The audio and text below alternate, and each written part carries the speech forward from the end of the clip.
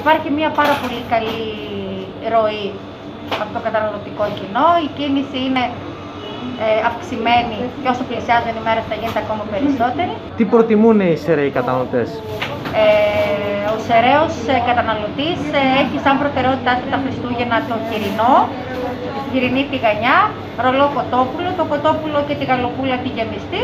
Αυτές είναι οι παραδόσεις εδώ στο δικό μας το νομό όλα αυτά τα χρόνια. Μμμ.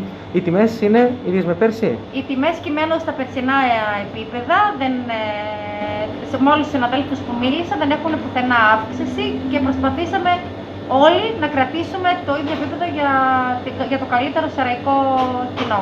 Πόσο σημαντικό είναι να στηριχθεί η τοπική οικονομία, οι τοπικοί επιχειρηματίες του νομού μας; Είναι πάρα πολύ σημαντικό κομμάτι και φέτος πρέπει να το στηρίξουμε ακόμα περισσότερο γιατί υπάρχουν μαγαζιά που πραγματικά είναι κλειστά και είναι σε πάρα πολύ δύσκολη θέση.